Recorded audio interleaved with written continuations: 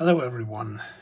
I got myself the new Victorinox Venture Pro and uh, I really really like this knife. It has some great design features and it uh, really uh, works well in my opinion. But there's one major problem with it, um, as you may have seen in some other videos. It's the rattling noise that it makes when it's, when it's in the sheath. Um, I found it to be more prominent on the Pro version um, and less prominent on the normal version or when you're using the belt strap, uh, which both versions come with. Um, yeah, and I found a, a, small fix for it, and I would like to share my fix um, with all of you. So, as you can hear, the rattling is quite prominent just by shaking the knife.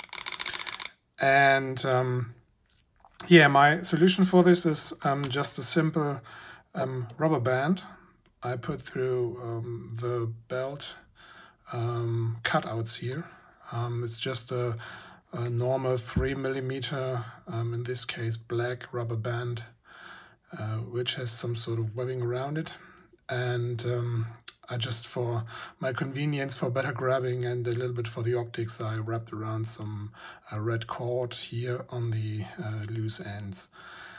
Um, yeah, if you put um, this band around it's quite easy to do. You just pull on these um, ends and slide it over the handle. You have to make sure that you don't rub around these ends here because they are quite sharp that is intended for some other usage, like um, scraping out some, um, some wood or so. And if you put the band around it, the rattling almost completely vanishes. One thing that's rattling here is the um, fire starter. If I take it out, there's no more rattling. Of course, you can force it if you really bang on the knife but just by carrying, um, I found the rattling to be gone completely. It's quite easy to do, and I don't think it's uh, inconvenient to have a strap on here. I haven't seen it in, in some way uh, or in any way um, tamper with my belt when I have it um, through here, so that works really well. Um, I can't say much about how long this will last because if you accidentally rub over these sharp edges, um, the rubber band um, would suffer. That's uh, that's clear. Um, but it's quite cheap. You can easily replace it if it ever breaks. So I found that not to be a big problem.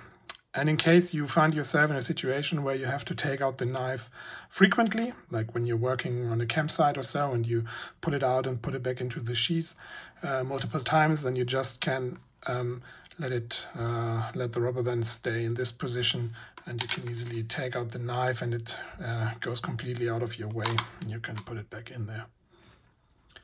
Um, for the knot itself, it's a simply it's a simple overhand knot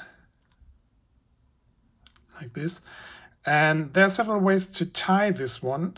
And I found it particularly good to tie it this way what you may can see is um, that the loose ends tend to um, face towards your body if you have the sheath in a belt position um, because of the way the knot is um, tied here. And this way, um, these loose ends tend to stay out of your way when putting the knife back in, like so. Yeah, that's for me. Have a great day. Enjoy your knives. Um, Bye bye.